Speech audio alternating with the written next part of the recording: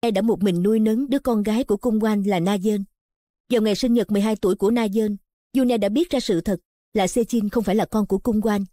Yune đã cãi nhau với Du Cung, không may bị tai nạn mà chết. Lúc chết, trong tay của Yune đang cầm một chiếc bông tai của Du Cung. Sau đó, cung quan đã vô tình gặp được Na Dên tại tăng lễ của Yune. Vì tình cảm còn dương vấn năm xưa mà cung quan đã đem Na Dên về nhà của mình. Vì con nghe kể qua, con đã phải trải qua một chuyện quá tồi tệ. Hãy sống cùng với nhau đi. Con cảm ơn gì? Anh nghĩ chào hỏi như vậy được rồi. Na Dương nên ở phòng nào đây ta? Dì giúp việc ơi! Dì giúp việc ơi! Ờ, à. Dì mang vali này lên phòng của con nha. Chúng ta bằng tuổi nhau, nên ở chung phòng sẽ thấy thoải mái hơn. Cảm ơn cậu. Ôi trời cái vali này có vẻ nặng hơn tôi nghĩ đó. Chúng ta đi lên lầu đi. Đúng rồi, giờ đó là phòng của Ủa? con, cho nên con cứ thoải mái tự nhiên ha. Con cảm ơn chú à. à được rồi.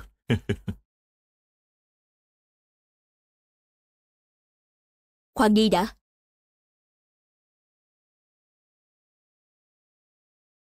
Dì vẫn chưa biết tên của con là gì nữa. Con tên là gì vậy? Con tên là Na Dơn. Ly Na Dơn. Ly Na Dơn. Tên đẹp lắm. Con có tên rất là đẹp đó. Con cảm ơn dì. Chúng ta đi thôi.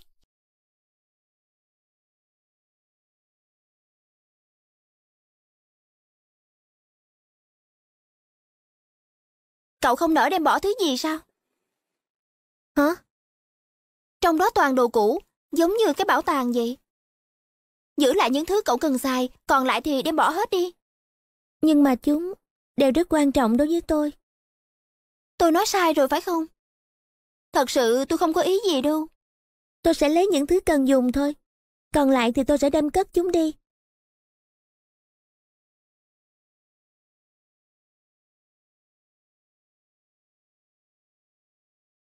Na Dơn Đó là gì vậy?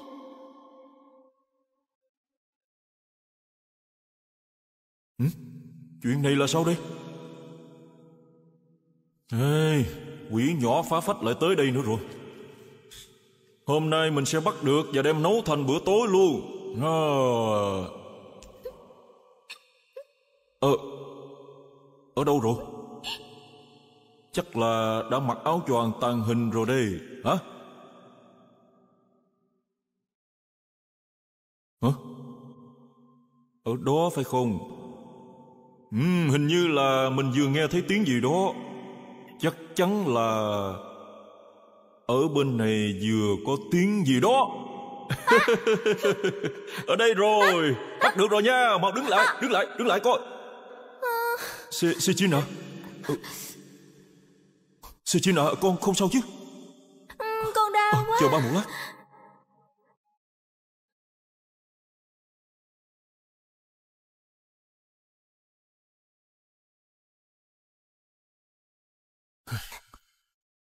Mang khăn giấy và thuốc sát trùng cho tôi.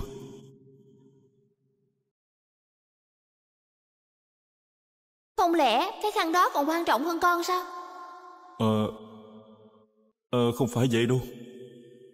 Na Dơn Rốt cuộc đó là cái gì vậy? Là khăn tay mà mẹ tôi đã theo cho tôi. Bộ có chuyện gì sao? Không có Không có gì hết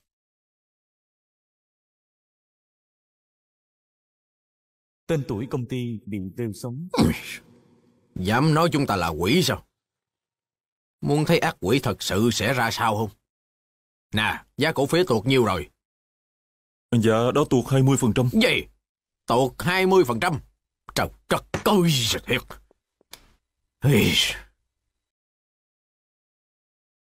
Cực khổ kiếm tiền gây dựng công ty để làm cái giống gì chứ?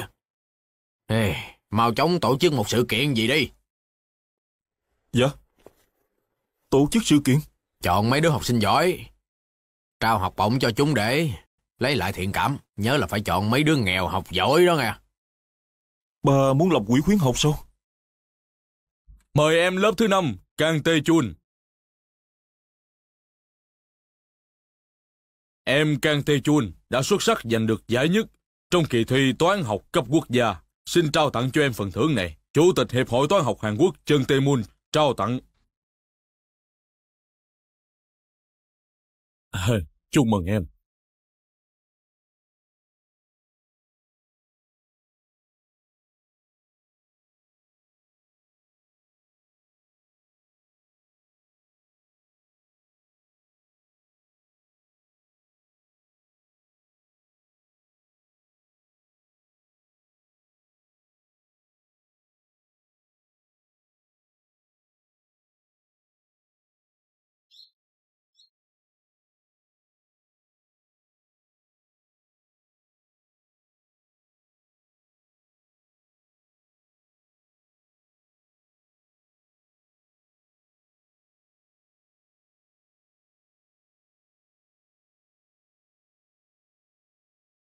Jun.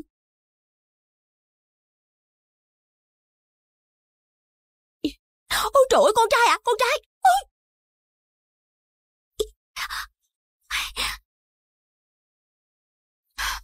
Chúng ta đã không gặp nhau một năm 14 ngày rồi đó. Sao mà con lại nhìn mẹ với ánh mắt đó vậy hả? Con phải vào trong. Đi giao hàng về trễ mà sẽ giận đó. Ơi, thiệt là quá đáng mà, còn bắt thằng nhỏ phải đi giao hàng nữa chứ. Mẹ tới đây chi vậy? Con đừng có như vậy mà con, mẹ cũng khó xử lắm chứ bộ. Mẹ sống mà không bằng chết đi nè. Cứ tưởng là lấy chồng khác thì cuộc đời của mẹ sẽ được lên hương. Ai ngờ tan tành hết trơn à, mẹ đúng là đồ ngu ngốc. À, khi nào con lớn á, thì con sẽ hiểu cho mẹ thôi con à. Mẹ muốn than trách thì kiếm chồng mẹ mà than đi. Được được, mẹ biết rồi. Tuần này là sinh nhật của con. Con hãy nhận lấy đi nghe. Mẹ sợ ngày đó không tới được nên đưa trước cho con đó. Mẹ con là nhất có phải vậy không? Trời đất ơi! Con không phải là ăn mày. Con không cần tiền cho nên mẹ không phải tới đây nữa. Ôi trời ơi cái thằng quỷ này! Ôi! Đồng tiền có tội tình gì đâu chứ! Đừng có bướng bỉnh nữa, cầm lấy đi. Còn không thì á, mẹ sẽ tới trường kiếm con đó. Mẹ mà tới trường của con, thì đừng hòng gặp lại con nữa. Mẹ biết rồi, mẹ không tới nữa. Ơi, lỡ gặp mợ của con á, thế nào cũng bắt mẹ dẫn con đi khỏi đây cho mà coi. Mẹ đi nha con. Năm sau gặp lại nha con. Chào con.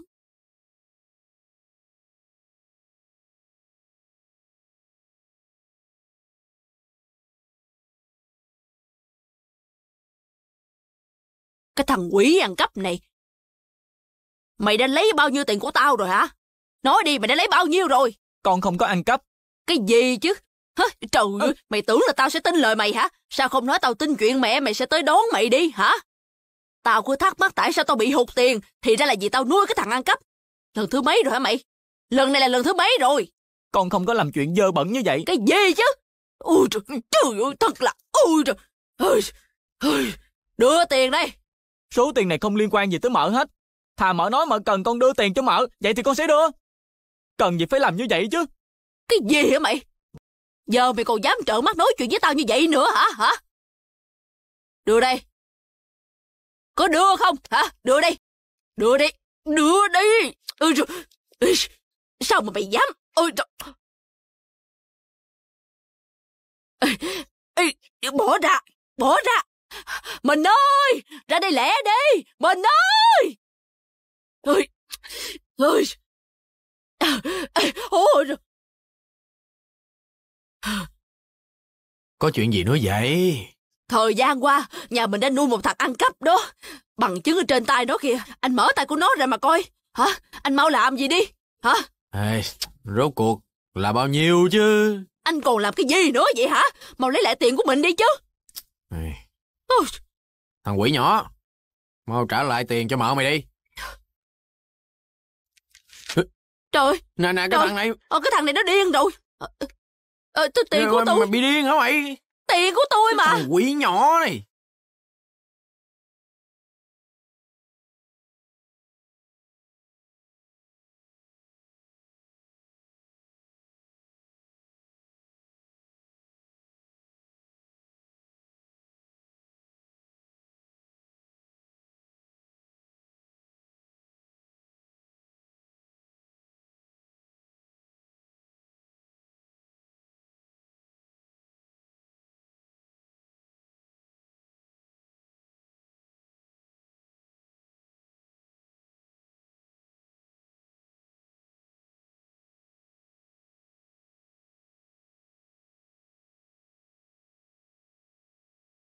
Chúng ta lại gặp nhau rồi.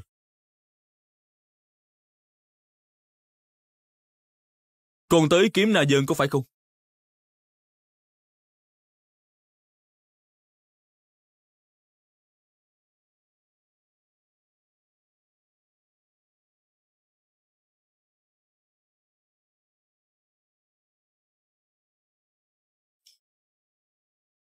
Anh ơi, ba của Na Dơn là người ra sao vậy? Hả?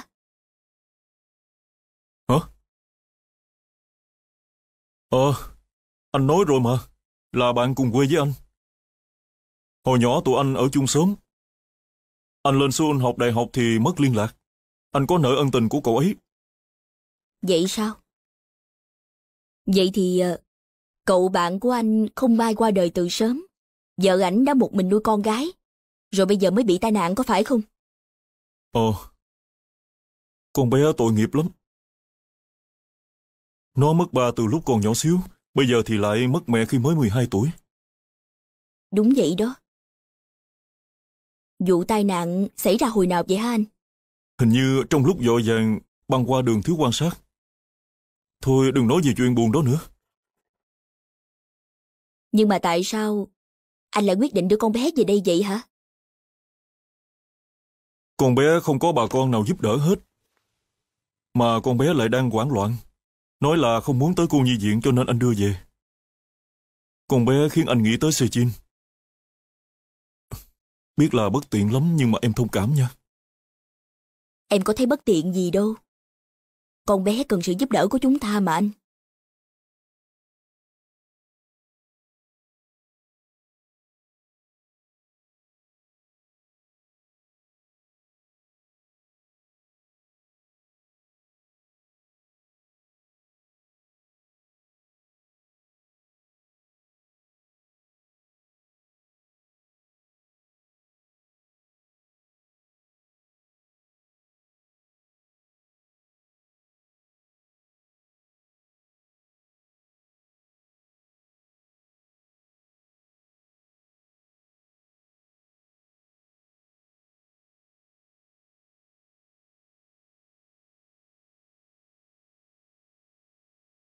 Cậu vẫn chưa ngủ hả? Xin lỗi cậu, tôi cứ tưởng cậu đã ngủ rồi. Cậu không cần xin lỗi đâu. Tại tôi toàn ngủ một mình nên có hơi không quen. Tôi không muốn làm phiền cậu đâu. Nhưng tôi lại làm phiền rồi.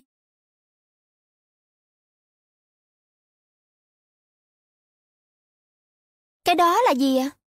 Hả? Cái đồng hồ đó. Sao cái đồng hồ của tôi lại ở đó? Cái này là chú đã tặng tôi mà.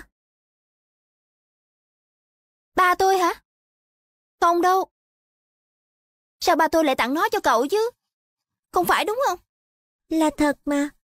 Chú Trang đã tặng nó cho tôi. Cậu chờ một chút.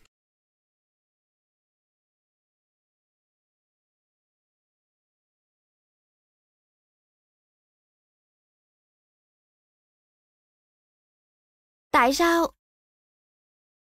Lại có cái, giống hệt vậy chứ? Vậy là cậu hiểu lầm rồi. Tôi không sao đâu. Không thể nào. Chuyện này đúng là vô lý. Chỉ tặng cho mình thôi mà. Sao lại có hai cái giống nhau vậy chứ? Tại sao?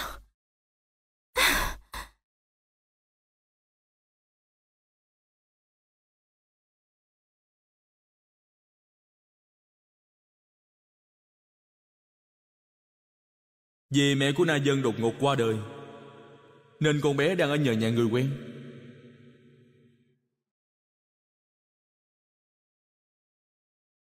Ave Maria, bản hòa tấu piano, Na Dơn. Na Dân đã tặng cho cha bản nhạc này Con có muốn lấy nó không?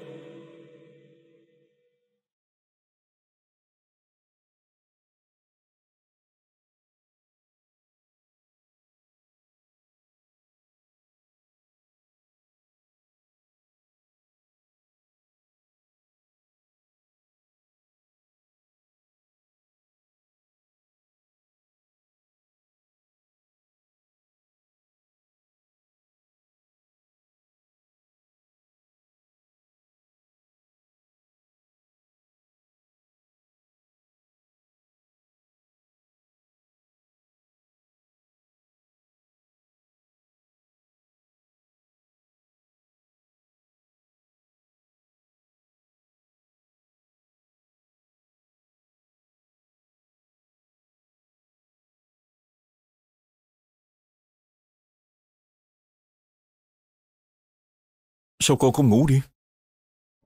Chú bị con đánh thức hả? Dạ con xin lỗi chú.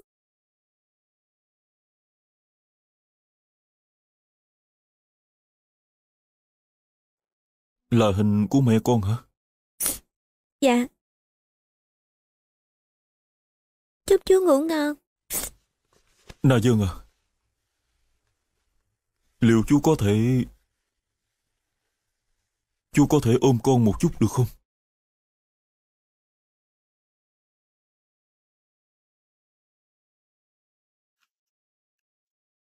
Muốn khóc, con cứ khóc lớn lên đi. Vậy thì nỗi đau trong lòng của con mới sớm được nguôi ngoai. Mới đầu sẽ rất khó khăn. Nhưng con hãy mạnh mẽ lên.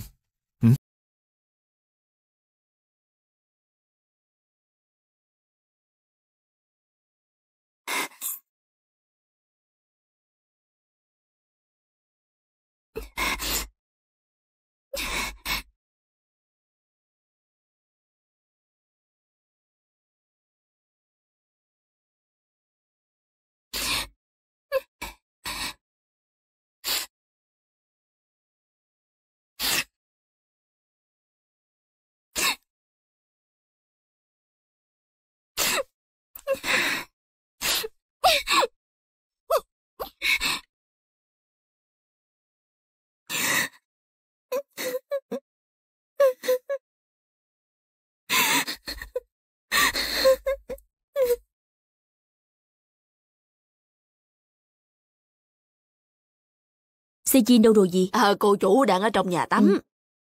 Ừ. Na Dương đâu rồi sao không thấy? Na giờ nói không muốn ăn. Ờ, chắc là không thấy ngon miệng. Nó muốn ăn mới là lạ đó.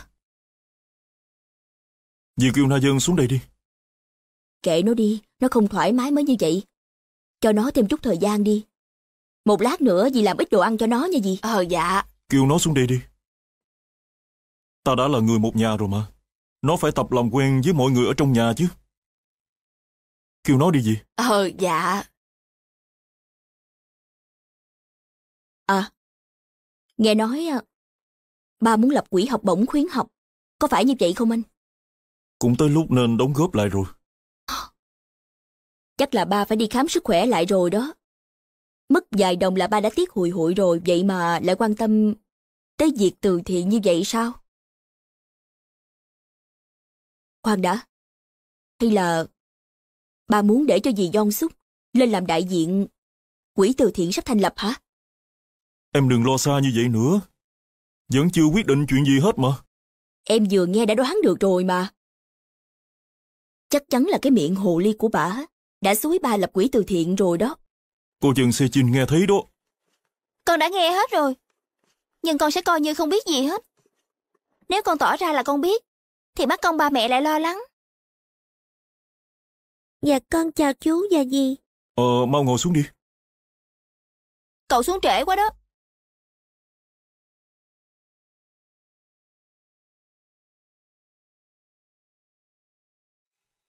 Đây. Cô ăn thử rau trộn thịt cua coi. Món đặc biệt mà nhà chú làm. Để tiếp đại khách quý đó. Từ sáng sớm dì giúp việc đã cất công đi chợ mua về nấu cho con đó. Dạ con cảm ơn chú. Đây cũng là món mà Sejin thích, nên dì giúp việc mới làm cho cả hai đó. Con thử đi con. Dạ. Sao vậy? Bộ con không thích ăn cua hả? Dạ không phải là con không thích ăn, mà con chưa ăn cua bao giờ.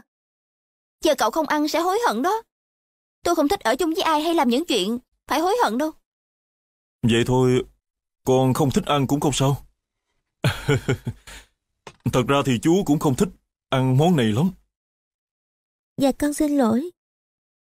Thật ra là con bị dị ứng với cua. Cho nên con sợ ăn vào sẽ xảy ra chuyện làm phiền mọi người. Thôi anh cũng đừng ăn món này. Hả? Tuy là bây giờ đỡ hơn nhiều rồi. Nhưng trước đây cơ thể của anh từng xuất hiện triệu chứng dị ứng. Cũng bởi vì ăn cua mà. Anh nên cẩn thận hơn mới đúng. cũng đúng. Hóa ra ờ, cũng có nhiều người dị ứng cua hơn là chú nghĩ hả? Ồ, lúc chú ăn cua này bị dị ứng thì buổi tối chú bị ngứa không ngủ nổi luôn. Dạ, Con cũng bị giống vậy đó chú. Vậy à? Vậy là chúng ta đồng bệnh tương lân rồi.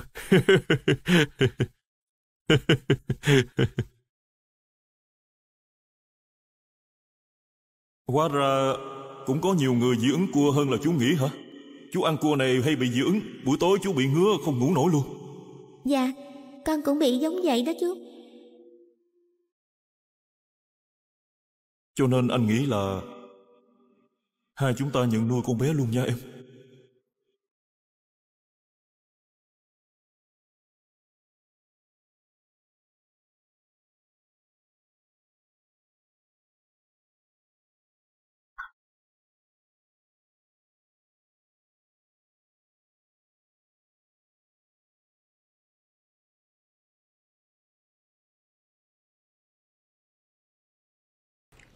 Là tôi đây. Tìm hiểu giúp tôi chuyện này. Chuyện là nạn nhân Lee Yun E có một đứa con gái. Hãy giúp tôi tìm hiểu tung tích đứa bé. Nhanh lên nha.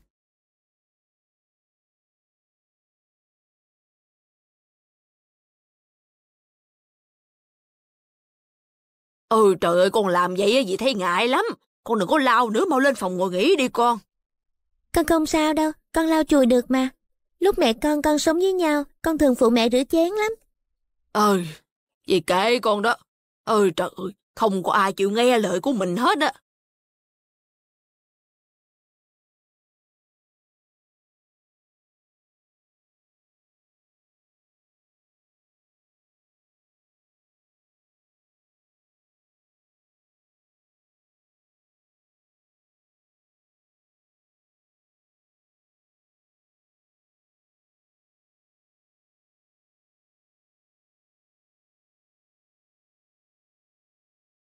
Lý lịch càng dần đi.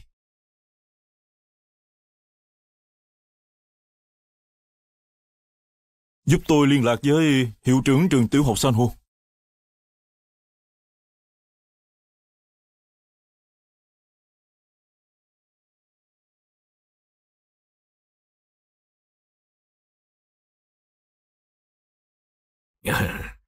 Đi thôi.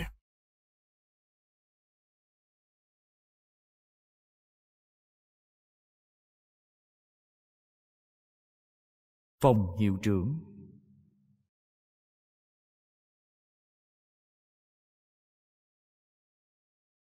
Ồ, Tê Chun hả? Vào đi con.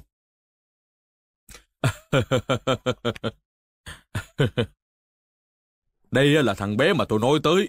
Không những đoạt giải quốc gia, mà thằng bé còn ẩm luôn cả giải thưởng toán học quốc tế nữa đó. con chào hỏi đi. Ông ấy là chủ tịch của xí nghiệp Becdo. Dạ con là Cang Tê Chun. Ngồi đi con. Con học giỏi thật đó. Con không đi học thêm mà đạt thành tích đó. Đúng là không phải dễ dàng. Dĩ nhiên rồi, thằng bé này đã chăm chỉ cố gắng rất nhiều. Một ngày ngủ có 4 tiếng thôi. Đây chính là sự cứng cỏi và chai lì. Ê, những người như vậy khiến cho tôi không thể có cảm tình. Con đừng căng thẳng quá. Ông không có ý gì xấu đâu. Mà sao rồi, con thấy sao hả? Con... Con thích thằng bé vì vẻ thật thà. Sao? Nó làm con nhớ lại mình hồi nhỏ hả? Làm sao mà ba biết vậy? con tưởng ba không biết sao? Con đã thích thì hẳn là thằng bé phải tốt rồi. Cho nên à, con cứ tự quyết định đi. Dạ ba. Chúng tôi quyết định sẽ chọn cậu bé này. À, dạ cảm ơn rất nhiều. Anh sẽ không phải thất vọng đâu. Làm gì vậy mà cảm ơn đi con. Con được học bổng của Bét Đô đó. Hai vị này sẽ tài trợ tiền học cho con tới khi con vào đại học luôn. Dạ? Chỉ cần con ráng học thật giỏi, họ sẽ cho con vào đại học luôn đó. Vào đại học sao? Ráng học thật tốt. Sau này đừng đánh mất kiên trì. Hãy cố gắng thật nhiều như bây giờ. Con cảm ơn chú.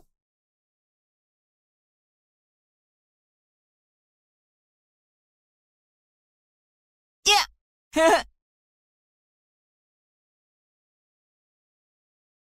Thông tin học sinh Ê, xuất sắc luôn không?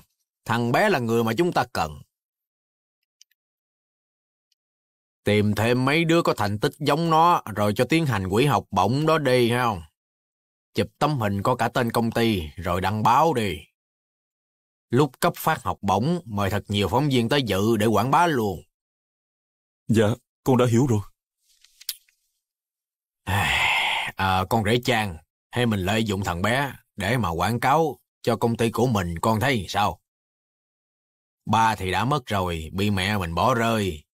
Ở nhà của người thân, nhưng lại bị họ bắt nạt. Nhờ có tấm lòng nhân ái của Berto nên mới lấy lại niềm hy vọng. Thấy sao hả? Nghe hay mà đúng không? Con không biết.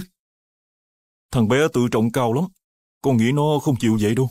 Mắc mớ gì chứ? Ai quan tâm nó muốn gì? Hãy đứng trước đồng tiền á, thì người nào cũng sẽ bỏ lòng tự trọng thôi. Con còn hiểu rõ điều đó hơn người khác mà.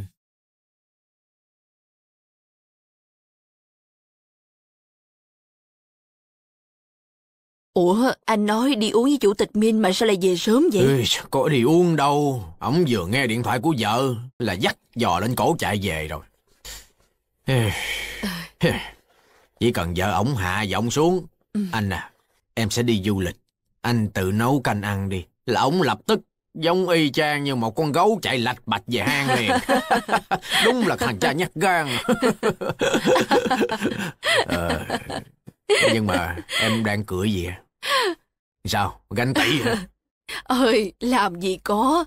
Em thích người chồng độc lập dũng mãnh như hổ chứ không thích như gấu đâu.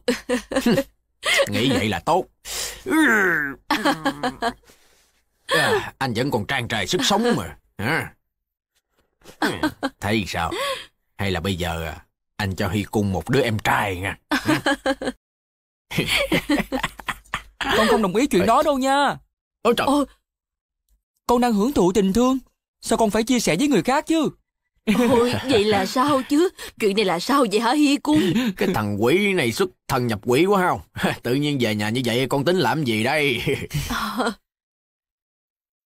Dạo này ba và mẹ vẫn sống tốt đúng không?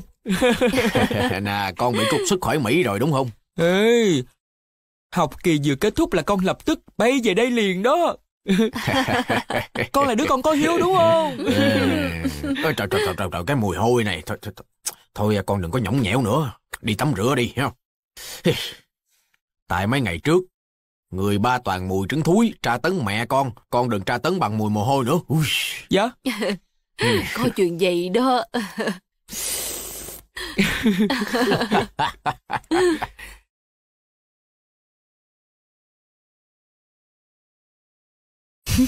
Ôi trời, ba gửi cho con cả đống tiền mà, vẫn không có cơm để ăn hả? Bữa cơm hôm nay có dùng tất cả của cải trên thế gian này cũng không mua được đâu ba ơi. Cái thằng quỷ này, thay vì con qua đó học tiếng Anh thì lại học cách nịnh như vậy sao? Đừng có nói chuyện nữa, anh để cho nó ăn đi. Ê, người khác nghe còn tưởng anh cướp muỗng của nó nữa đó. Trước khi hết cảm giác thèm ăn á thì anh mau ăn cơm đi. Con sẽ ở đây bao nhiêu tuần? Tới mấy tuần lận. Vậy là con có thể nghỉ ngơi trước khi về bển rồi. Mẹ sẽ lên kế hoạch vui chơi cho con khi ở đây nha. Thì không biết ai đang cản trở nó ăn cơm nữa à. Anh nói phải đó. Ờ, giờ mẹ sẽ để cái miệng của mẹ tập trung vào chuyện ăn cơm thôi. Con là học sinh cấp 3, được nghỉ hè nên đâu có bận. Nếu như ba cần gì thì cứ việc, sai con làm chân chạy giặt. Con có thể tới thăm vợ chồng chị Du Cung và ở chơi với C Trinh vài ngày, con định vậy đó. Khó lắm mới có thời gian rảnh để về. Đừng phí sức vào những chuyện không đâu nữa con. Ôi, anh à, Ngày ba bữa thì bữa tối là quan trọng nhất. Đừng có làm anh mất hứng. À, Ê, ba đừng vậy nữa mà. Chị là con gái duy nhất của ba, đứa em trai như con, nên tới thăm chị mình chứ. Mà chị vô Cung vẫn khỏe đúng không mẹ?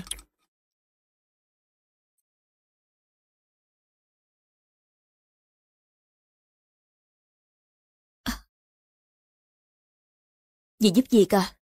Mang cho tôi ít nước đi. Dì giúp gì cả. Dì giúp gì cả. Dì giúp việc không nghe thấy tiếng tôi gọi sao? Dì giúp việc đi đâu rồi hả? Con không nghe gì hỏi sao hả Na Dên? Yu, Yu, Yu nè,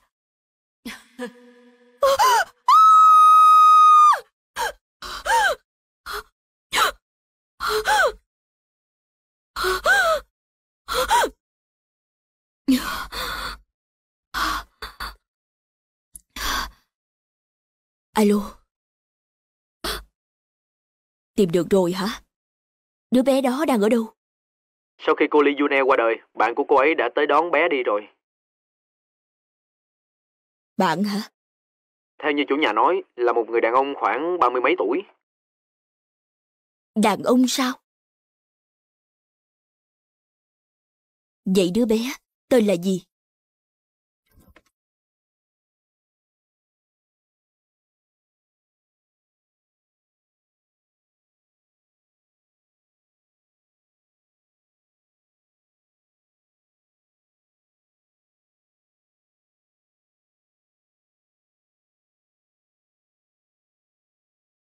Vua đe Đúng là con gái của nó. Thưa dì, dì vào phòng có việc gì không ạ?